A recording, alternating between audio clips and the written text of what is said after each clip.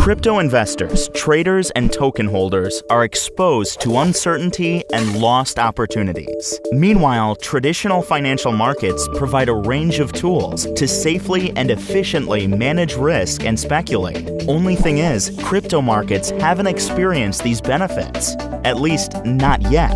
Market Protocol tackles this problem head on, but it's not an exchange.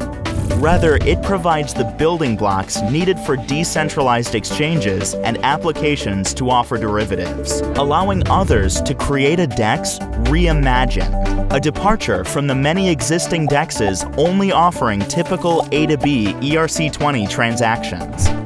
With our smart contracts, users can separate a token's utility and its price, transferring the risk of speculation to those who want to be speculators. Don't like a project and think it's overvalued? Short it with Market Protocol and profit from a decline in price. Users can trade the price of any off-chain asset, like shares in Apple or Amazon, using any ERC20 token as collateral. And users can easily trade the price of assets like Dash, Bitcoin, or Monero, all while staying on the Ethereum blockchain.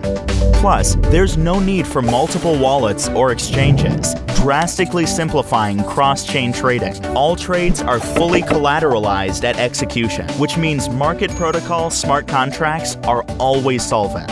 No margin calls and no funding liquidations. Market Protocol helps scale the blockchain, achieving price stability by reducing crypto risk and unlocking value. Check out marketprotocol.io to see what's possible.